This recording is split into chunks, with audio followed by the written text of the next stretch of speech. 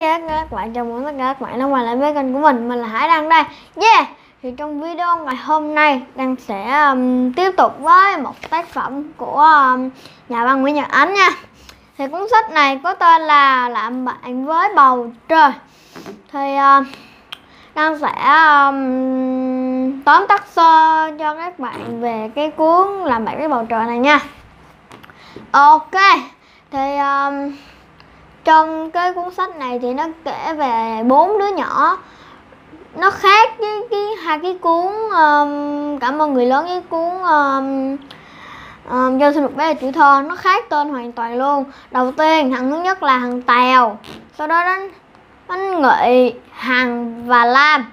Bốn đứa nó là bạn thân nhưng mà một ngày khi mà ba của thằng tèo với thằng tèo đi ngang qua cầu để đi ờ, đám giỗ cái ba đi xe máy nó ngồi đằng sau.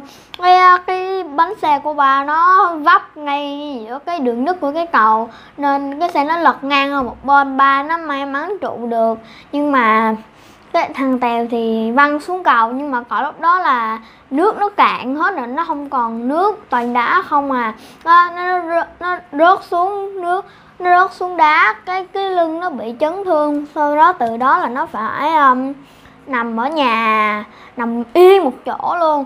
Sau đó nó cũng kèm thêm và cái bệnh lặt vặt nữa. Khi mà uống sữa ăn cái gì đó vô là ói và nhưng mà thằng tè nó rất là ham học.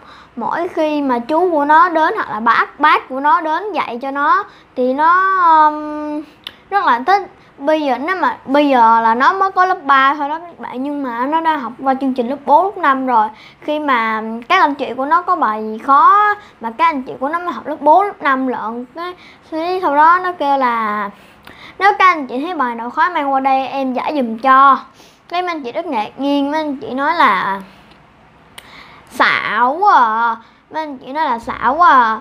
À mày lớp 3 mà sao mày giải được bài lớp 4, lớp 5 sau đó thằng tèo nó em giải được mà. Thôi đó, nó nó lấy cuốn tập uh, nó giải khoảng 5 phút sau rồi nó giải xong cái mấy anh chị mới mới là ngạc nhiên nói là nó là thiên tài vì nó giải được bài lớp 4, lớp 5 và nó khi mà ba mẹ nó đã cho um, gửi nó cho dì của nó với bác của nó và mẹ nó đã đi đến suốt 8 năm.